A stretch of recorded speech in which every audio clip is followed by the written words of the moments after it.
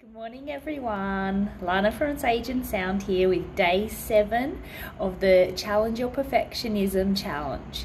How are you going with it? We're getting towards the end, so hopefully, you've been able to take some of the exercises on board and are starting to make some changes. If not, don't worry, today's challenge is for you. So, yesterday we set up the idea of starting to pare back some of the extra work you do if you're an overdoer or alternatively starting to do a little bit more action and work towards a goal if you're someone who tends to procrastinate and avoid tasks.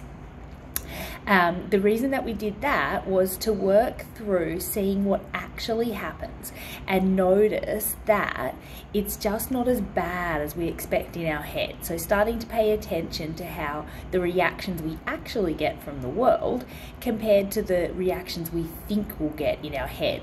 Those ones are often much more severe and negative, and they're what keep that perfectionistic behavior going. So that was the challenge, and the idea was to keep going with that for a couple of weeks, noticing when you were able to step back or step up um, and putting down what actually happens in a journal. So that's the idea. But if you're finding it too challenging to work through that, then today is really going to be helpful for you.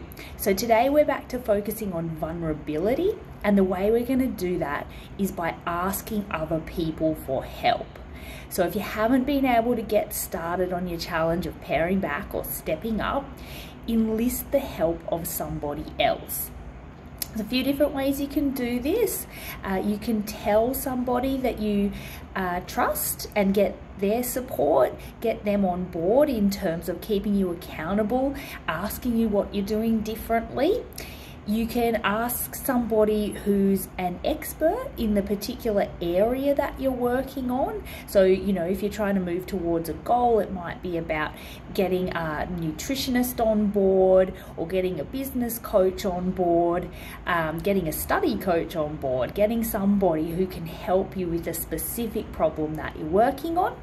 Or your third option is to reach out to somebody like me, a therapist, a coach, somebody who's going to be able to help you break the task down, look at your individual fears around change, and um, sort of hold your hand and give you extra individualized support through the process of change.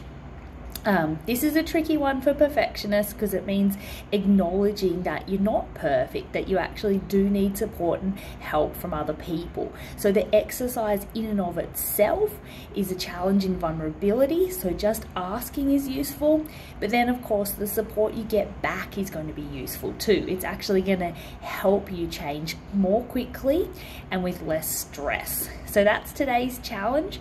Reach out and ask somebody for help. Um, if you're interested in either my or Alina's assistance through Sage and Sound, we've got an online booking system on the website www.sageandsound.com.au where you can see our available appointments and book something in at any time. Or if you've got more questions about the process, then just email lana at sageandsound.com.au and I'll be more than happy to answer any questions that you have. So that's it for day seven of the challenge. See you tomorrow.